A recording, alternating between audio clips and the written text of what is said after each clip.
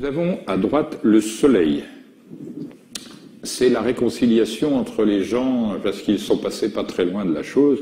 Sachez quand même que lors de la catastrophe, c'est grâce à la Lune qu'on s'en tirera plus ou moins bien. J'explique.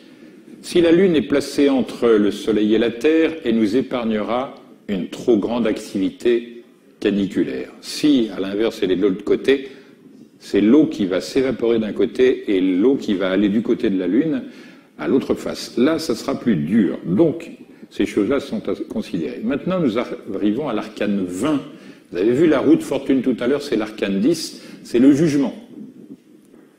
Bah, le jugement, euh, c'est bien, vous avez ici l'indication particulière du procédé qu'il va falloir utiliser pour sortir de la situation dans laquelle nous sommes en train de nous encastrer.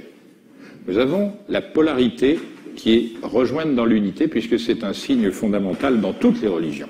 Aussi bien les musulmans, les sikhs, les hindous en général, les chrétiens réunissent les mains, c'est-à-dire ce qui était séparé est enfin réuni.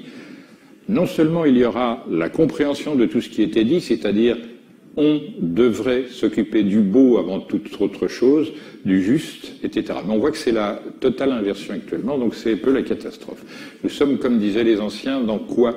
Dans l'âge de 26, le fer, l'âge de fer.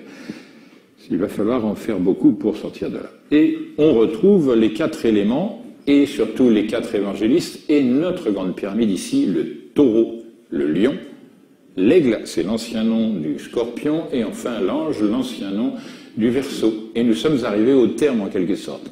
Alors là, je ne vais pas remontrer, mais c'est le retournement inverse. Regardez l'arcane 12 et l'arcane 21.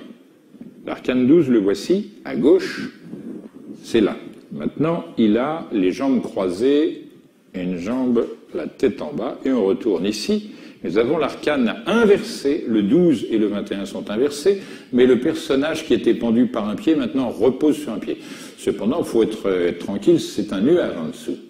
C'est intéressant parce que le nuage se dit neb, en espagnol, nubes, c'est le nuage. Mais nub, en égyptien, c'est l'or. Donc c'est l'âge d'or que l'on retrouve, où on échoue, où on passe l'épreuve.